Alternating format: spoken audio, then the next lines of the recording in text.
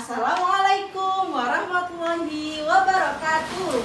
Waalaikumsalam warahmatullahi wabarakatuh. Perkenalkan dulu ya, nama kakak Kak Fida. Hai Kak Fida. Hai Kak Fida. Namanya siapa? Adik Jihan. Namanya siapa? Auren. Aura. Namanya siapa? Jihan. Kamu namanya siapa? Safa. Kakak mau cerita tentang kancil dan buaya. Siapa yang pernah dengar? Nggak pernah. Sekarang kakak mau cerita, dengarkan ya.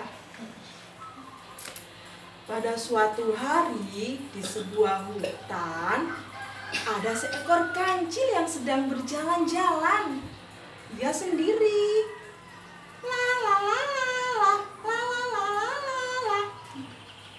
Tiba-tiba perut kancil terasa lapar.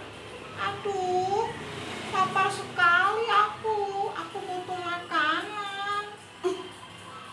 Lalu kancil melihat ada buah-buahan segar di seberang sungai. Tapi dia bingung. Dia ingin pergi ke sana, bingung menyeberangi sungai itu harus bagaimana. Kancil menemukan ide cemerlang. Ia memanggil buaya yang tinggal di dalam sungai itu. Di sungai itu ternyata ada buayanya. Lalu Kancil memanggil buaya itu. Hai buaya, keluarlah. Aku punya kabar gembira untukmu.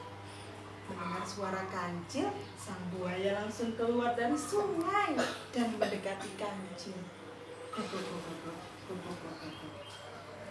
Ada apa? Kau mengganggu tidurku. Ternyata buayanya sedang tidur, teman-teman. Hmm, aku mau membagikan daging segar untukmu. Di mana daging itu? Kata buaya dengan wajah yang keras. Hmm, kau harus memanggil teman-temanmu untuk memakan daging itu juga. Memanggil teman-temannya. Dan setelah kembali bersama teman-temannya, Kancil menyuruh buaya untuk berbaris rapi. Untuk apa? Untuk apa aku harus berbaris rapi? Kata buaya, tanya kepada Kancil. Aku harus menghitung berapa jumlah kalian untuk membagikan daging secara merata. Setelah meyakinkan para buaya tersebut, para buaya tersebut akhirnya berbaris membentuk sebuah jembatan. Baik, aku akan mulai menghitung jumlah kalian. Satu, dua, tiga. Buayanya ini jumlahnya banyak, tapi ini ketuanya. Setelah menghitung jumlah buaya tersebut dan sampai di seberang sungai, akhirnya kancil tertawa terbahak-bahak. Sebenarnya aku tidak membawa daging sedikit pun.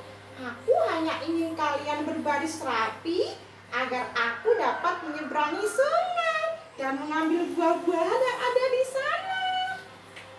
Akhirnya buaya-buaya tersebut marah dan hendak memakan kancil. Tapi kancil sudah berlari menjauhi buaya tersebut. Selesai.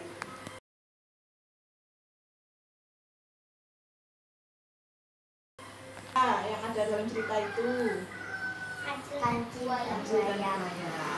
Kancil tadi mau mengambil apa? Buah-buahan. Oh ya ini buah-buahan. Terus kancil tadi ke seberang sungai, gimana caranya? Gimana tadi? Memanggil buaya dan teman-temannya lalu menyeberangi sungai dengan badan buaya itu. Dan akhirnya kancil sampai di seberang mengambil buah-buahan. Buaya tertipu. Nah, pesan dari cerita ini eh, seorang yang orang yang cerdas itu biasanya dapat menyelesaikan masalah kancil tadi berarti sifatnya itu cer cerdik cerdik cerdas